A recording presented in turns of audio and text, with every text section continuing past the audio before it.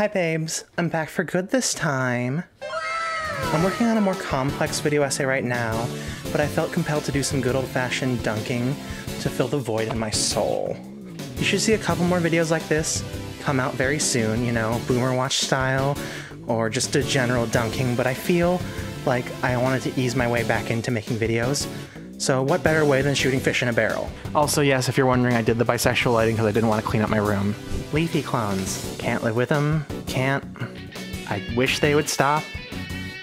Please stop. The irreparable damage LeafyIsHere did to internet culture is hard to measure, but his absence gave a rise to annoying wannabes with way less charisma somehow, if you can believe that, and also somehow even less coherent in making an argument. Sensitive Society is the Leafy clone I want to talk about today.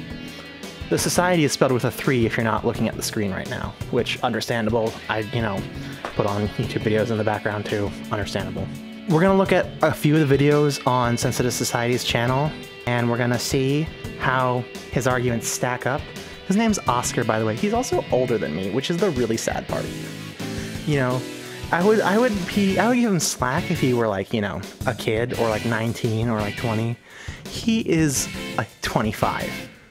There's there's no slack for this man.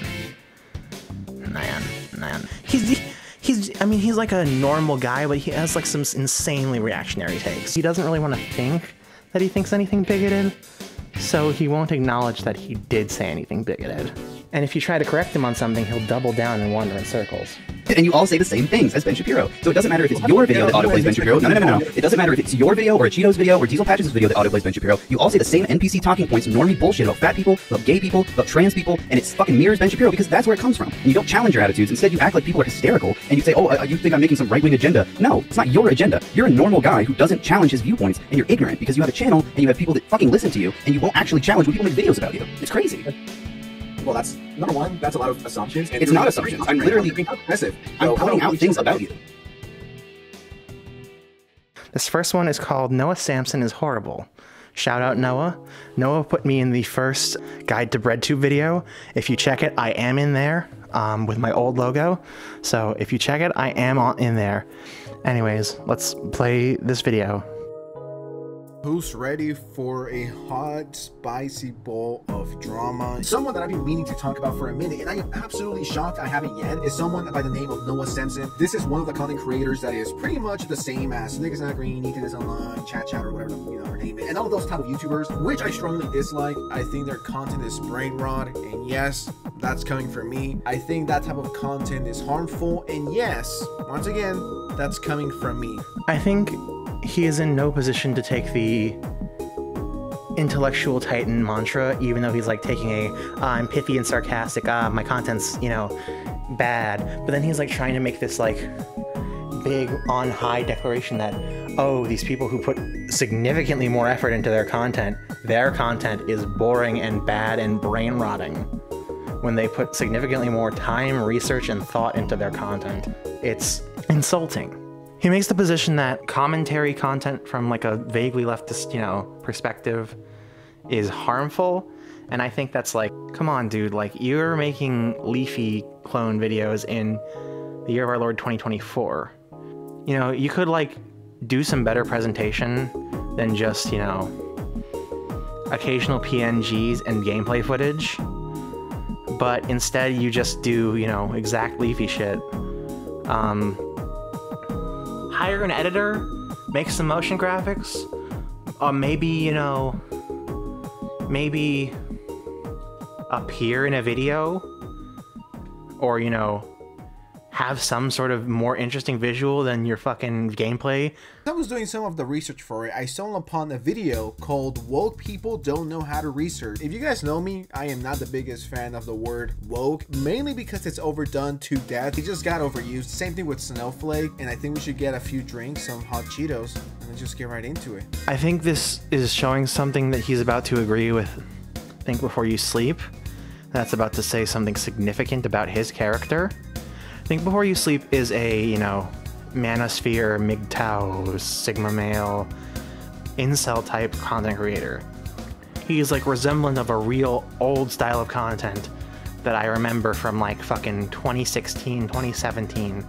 And it's kind of abysmal that people would take his word as like, you know, a good argument. A little while back, I saw a video from this anti-woke, anti-SJW channel called Think Before You Sleep. I made a response to it because it was an odd video in my opinion. I was hoping that he would eventually respond to it, and lo and behold, and other whatever other stuff, he did. Why woke content is trash. The video is called There's Me on the Thumbnail, Hi to Me. It's a video about my video, which is a video about his video. This little back and forth, it definitely seems like two people from two completely different perspectives going at it. And it's not like this guy is like a right winger, from what I could tell, like an extreme right winger. What I can tell from Sensitive Society as a person is he doesn't have a good grasp on political awareness because he thinks Think Before You Sleep is not a right wing person.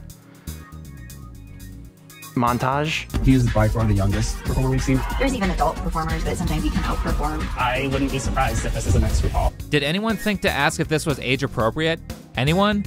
Are we just letting kids do whatever they want with no parenting at all? Anyway, for the past few weeks, I've been going down the groomer denial rabbit hole because of this video that I made here. During this time, I've watched many people who rightfully say that child beauty pageants and child marriage are wrong, yet they'll completely deny the sexually explicit behavior that occurs at family friendly drag shows.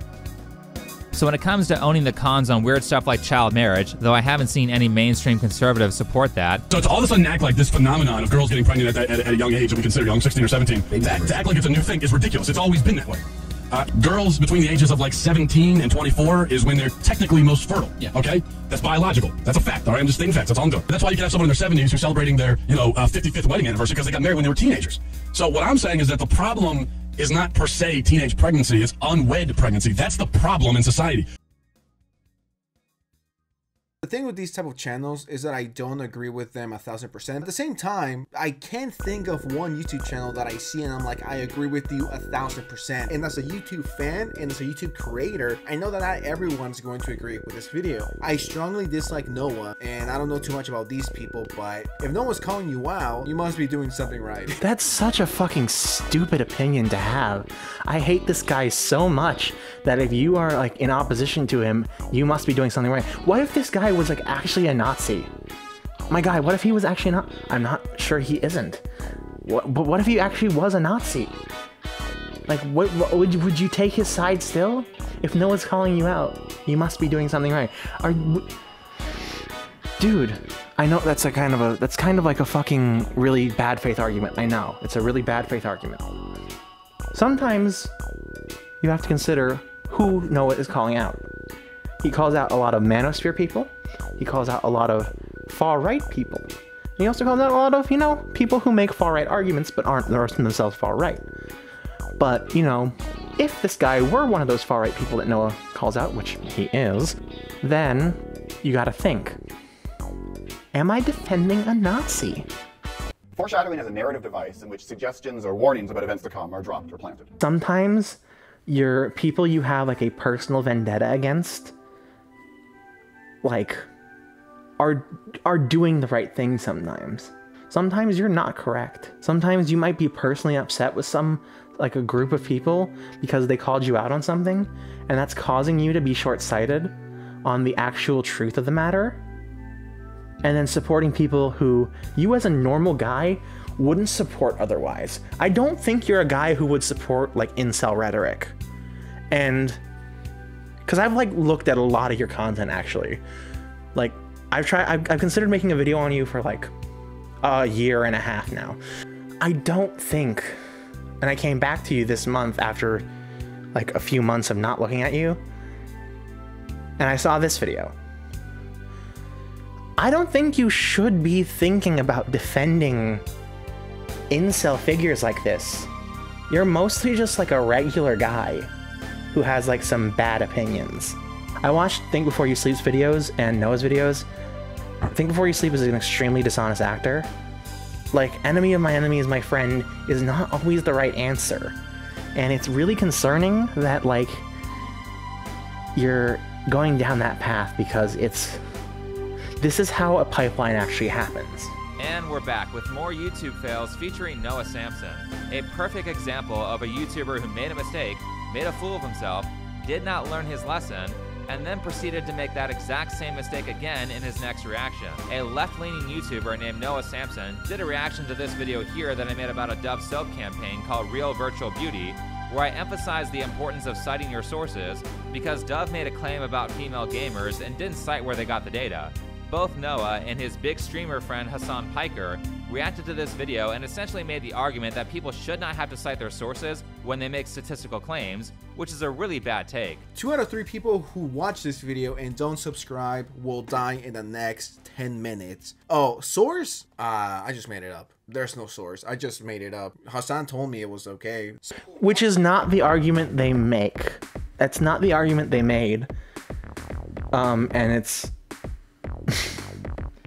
it's like a big misrepresentation. And if you don't immediately see that as bad faith, you're kind of like your alarm bells are not going off like, whoa, I better go check what he actually said.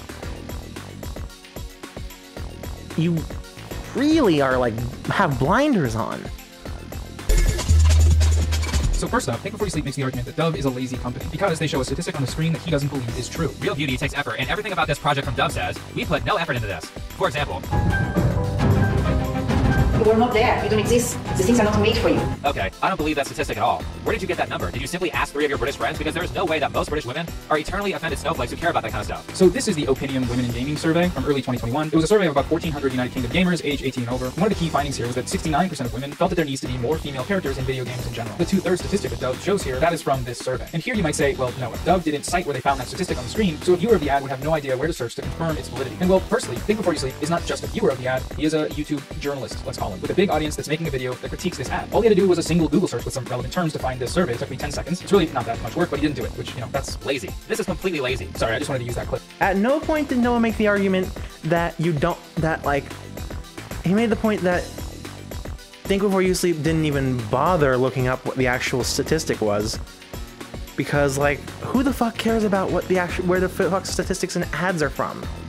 You can look it up if you care. You can look it up. Especially if you're like a YouTuber who like talks about this stuff. Like, oh my god, do a little due diligence. He just makes the stupidest points possible. Noah then arrogantly called me lazy and bragged about it only taking him 10 seconds to find the study that Dove never cited. All he had to do was a single Google search with some relevant terms to find this survey. It took me 10 seconds. It's really not that much work, but he didn't do it. Except it was the wrong study with the wrong information on it. After that, Noah proceeded to cite a bunch of studies that he obviously didn't read, because if he read more than the first paragraph, he would have realized that they proved the opposite of what he was claiming in his video, which was really funny. All this was hilarious because he's basing his reputation on being the guy who does the work and knows how to look at the facts and the data, when he clearly has no idea what he's doing when it comes to research. You know, that is something that I've noticed with a lot of these YouTubers. And as someone who got called out by one of them, they got stuff wrong. They continue to do it over and over and over again. And they keep getting exposed and they're losing credibility because they're idiots. You highlighting you highlighting one thing that says something in the study does not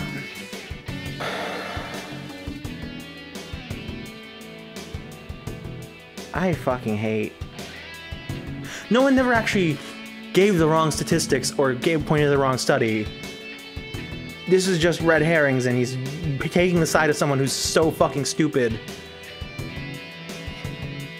So so sensitive society takes the side of someone who freely and willingly misrepresents uh, statistics, data, and arguments, and it's because he doesn't like Noah Samsen, and that's really stupid. And I think that's really Two out of three people who watch this video and don't subscribe will die in the next 10 minutes. Oh, source? Uh, I just made it up. There's no source. I just made it up. Hassan told me it was okay. So you guys heard it here first. If you're not subscribed with notifications on and you're not liking this video, in the next 10 minutes, you will literally explode. I already told you the study. I don't need to explain where I got it from, what studies I conducted, where I got the research from. Just blindly believe me because YouTubers will never lie to you. Am I right? not the, that's not the same argument sensitive society.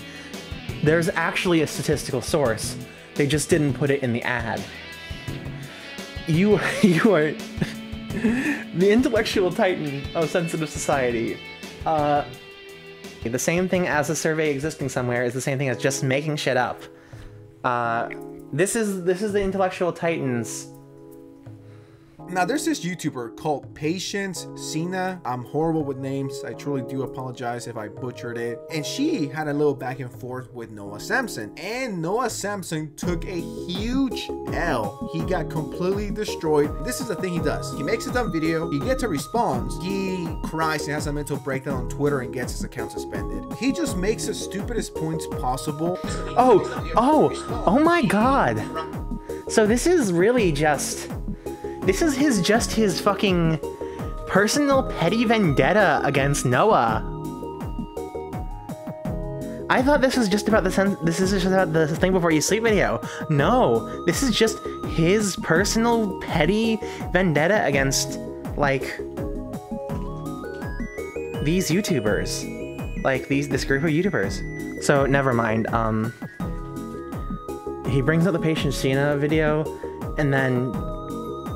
He just makes the stupidest points possible. But then arrogantly called me lazy and bragged about it only taking him 10 seconds to find the study that Dove never cited. All he had to do was a single Google search with some relevant terms to find this survey. It took me 10 seconds. It's really not that much work, but he didn't do it. Except it was the wrong study with the wrong information on it. After that, Noah proceeded to cite a bunch of studies that he obviously didn't read, because if he read more than the first paragraph, he would have realized that they proved the opposite of what he was claiming in his video, which was really funny. All this was hilarious because he's basing his reputation on being the guy who does the work and knows how to look at the facts and the data when he clearly has no idea what he's doing when it comes to research. You know, that is something that I've noticed with a lot of these YouTubers, and as someone got called out by one of them, they got stuff wrong. They continue to do it over and over and over again, and they keep getting exposed and losing credibility because they're idiots. You are literally making an argument against Think Before You Sleep, and you don't even realize it. You can't be pulling stuff out of thin air, holding on to hope that your fans don't look into it. Because if you look at the research, no one was very pro fat. So he links an article and it says obesity at the state of being overweight are conditions which are understood as an excess of body fat and are associated with increased risk to several diseases and direct causes of quality of life. Have you read this? This is completely against you. Okay, let's go back and read the whole thing. However, being overweight or obese is not necessarily enough to be motivated to start or continue weight management accent actions, since bod real body shape is sometimes misperceived. Being overweight or obese could be perceived as normal weight. Less prevalent is the misperception of normal weight as overweight. Hence, a correct self-perception of body image may affect weight body control, body weight control, and eventually quality of life. Moreover, body self-perception could be a helpful tool to healthcare providers when a body weight control program would be planned. In no way does this contradict what Noah said. Think before you sleep, and you are just reading the first sentence and stopping. If you read more than the first sentence, you would understand how this backs Noah's point. It's about self perception and how that increases quality of life. This in no way undermines Noah's point. And you don't know how to read a study.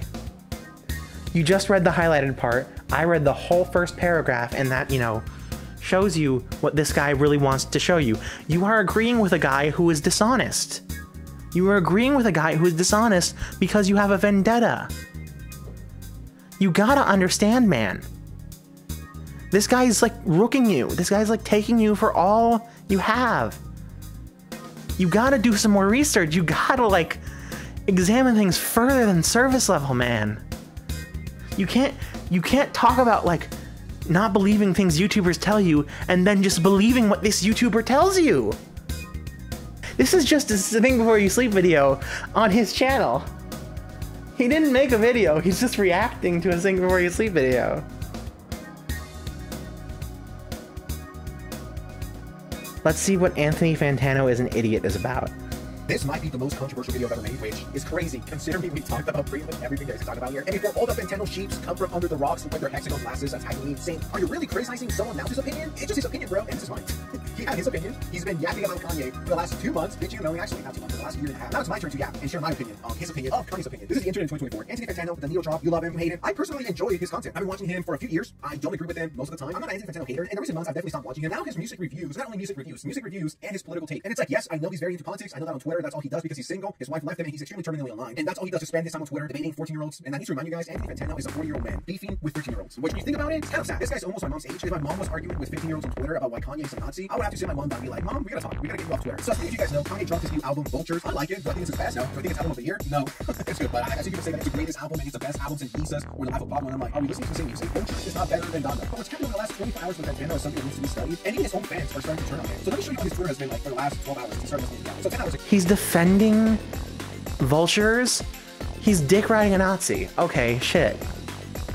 This guy is actually worse than I thought.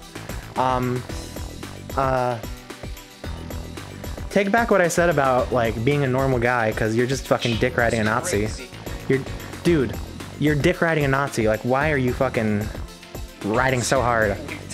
This is not just about an opinion, man. This is not just about an opinion. This is about how. This is about how.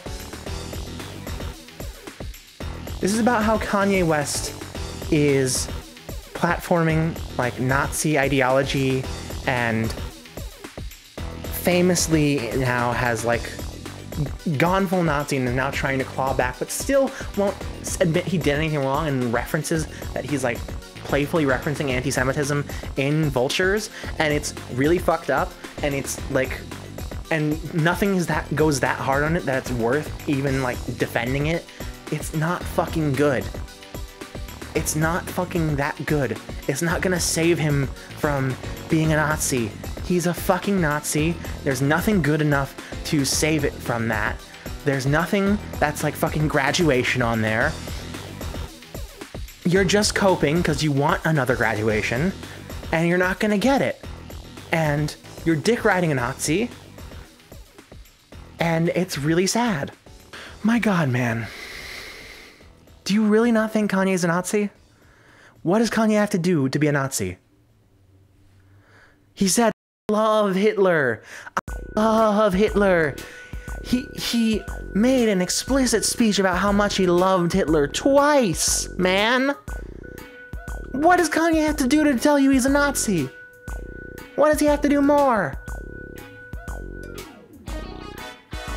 God. Hate is a banger, in my opinion. But no, Anthony Fantano doesn't agree with me. He thinks I'm less of him. He thinks I'm scum because how dare this peasant enjoy vultures? Is he a Nazi? Does this guy secretly hate Jews? After this, I The problem isn't that you're a peasant for enjoying vultures, is that you're enabling Nazi Kanye.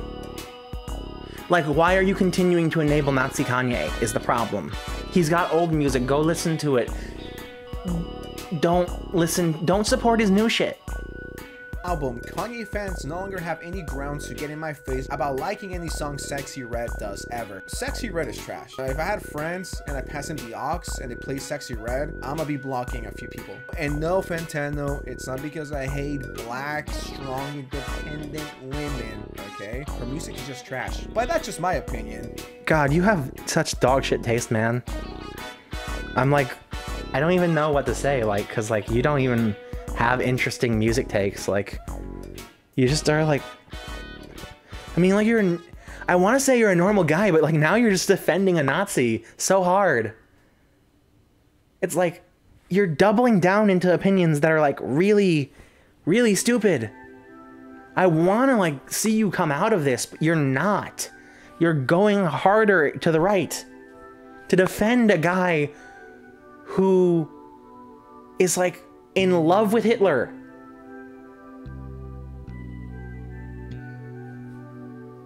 What the fuck, man?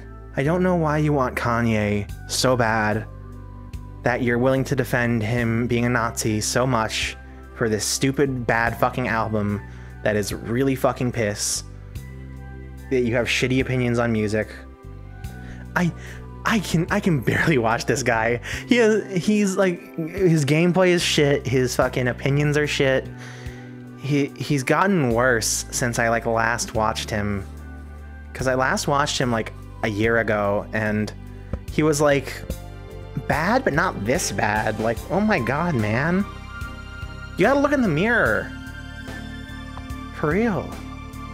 Take one step back and think like Am I just getting mad at people for a culture war thing? Am I getting mad at creators because like I have like a personal vendetta with the like the sphere they're in? Am I taking the side of someone who I shouldn't be agreeing with because I don't like the people that they're attacking? Take a step back, man. Think about it. Think about it for like a good few hours.